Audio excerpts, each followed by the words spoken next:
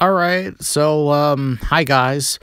Um, you're probably wondering what the, is this video all about? Well, based off of the title of the video, which I haven't yet decided what it will be, what I ultimately decided was that I would make a Bristol dirt video a couple or I guess a few days after it came out. Well, Actually, that's a lie because um, the reason why there wasn't a review was because I honestly forgot about uh, the review. And also, you're probably wondering what's the long ass break? Well, the reason is because uh, number one, I have not been finding any new NASCAR Authentics, and I told myself the Spyder Cup Series would return only if I found any new 164 scale cars that I needed for the series.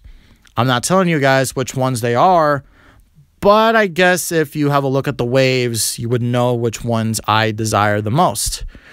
But other than that, yeah, the Bristol Dirt weekend happened not too long ago. It happened last weekend, or technically, all the races got pushed back to a Monday. So basically, what's going to happen is I'm going to give you the good, I'm going to give you the bad, and what could be improved. Uh, the one good thing I have to say about the Bristol Dirt Weekend was that, yes, these cars and trucks can run on the Bristol Dirt Track. Both races were mildly entertaining. They were really good races. The truck race was good, albeit it was a little bit more calmer considering that the truck guys have run on the dirt more longer than the cup guys and all that sort of stuff. I guess the only problem with the truck race was that a leech one, but I'm not a guy who dislikes leeching and all that sort of stuff. And it was cool to see Mark Jr. win in a truck. We don't see him in the truck in the truck series that often. So uh, yeah. Also, by the way, Toyota has won in the truck in the truck series so far this year. They have won all the races so far. That's something interesting. And in terms of any criticisms for the Cup race, um, all that for a Logano win I know it's not a criticism, but like, I mean, all that for a Logano win. I don't know. But uh, yeah. So that's pretty much the good of the Bristol Dirt weekend, I have to say. But in terms of really the bad, like the really, really bad, um, I'm still not a fan of like NASCAR not running on a proper dirt track rather than turning an already great track into a dirt track. You know, I mean, that's something I'm still wondering, like, why? Like, just why? But then again, NASCAR was forced to by Fox, considering that they wanted a uh, they wanted a, a dirt race and all that sort of stuff. And another criti- criticism I also have is that, well, um, we're still doing uh, this race. We're still um, impacted by rain once again you know, and whatnot, sort of have you.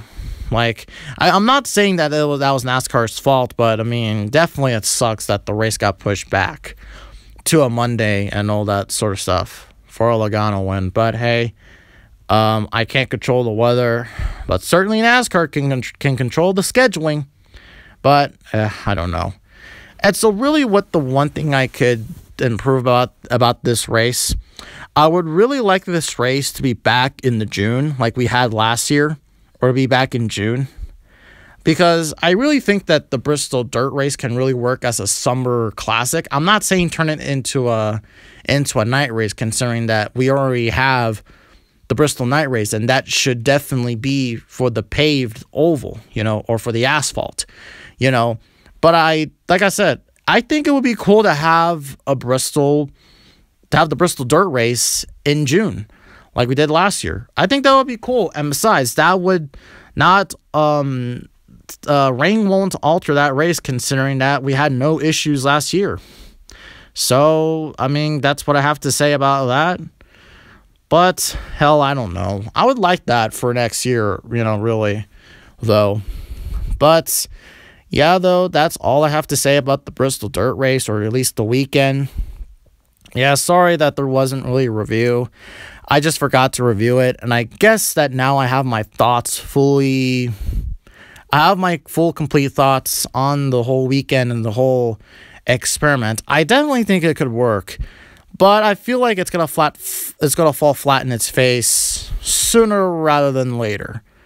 or later rather than sooner. But eh, I don't know, guys.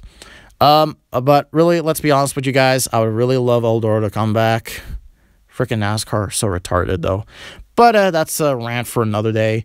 So I thank you guys listening to my voice. I'm getting back into school, or I'm going back to school, so um, the Spyder Cup Series may not return for a little while, and uh, California is slowly going back to normal. So things might change, but uh, hopefully things will get better though. And yeah, that's all I have for you guys. I'll see you all in the next video.